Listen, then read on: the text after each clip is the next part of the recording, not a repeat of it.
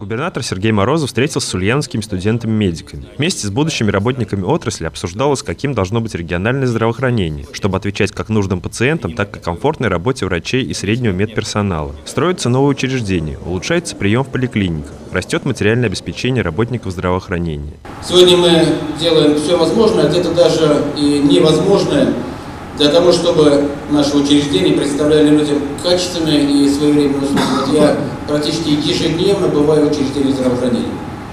Мы э, не только любопытствуем, э, что делается и как делается, но и одновременно принимаем решения для того, чтобы появлялись э, совершенно новые э, реанимации, совершенно новые приемные отделения, совершенно новые э, появлялись автомобили или новое оборудование. Обсуждались, конечно же, не одни достижения, но и проблемные моменты. Кадровый голод – это общая беда для всей отечественной медицины, а не только для Ульяновской области. Особенно остро это ощущается на селе. Студентка первого курса медицинского факультета Ульяновского государственного университета Анна Алимова знает об этом не понаслышке. В ВУЗ она поступила по целевому набору и готова отправиться после получения диплома в сельскую местность. Я считаю, что нужнее в селе, потому что сама живу за городом, и скорая помощь иногда едет к нам 40 минут, и врачи очень нужны в селе.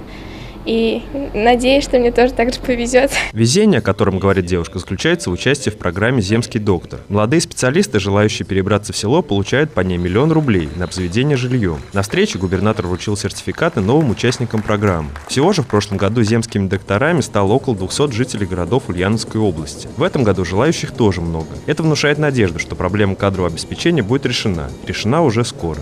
Егор Титов, Руслан Баталов, Новости дня, Ульяновская правда.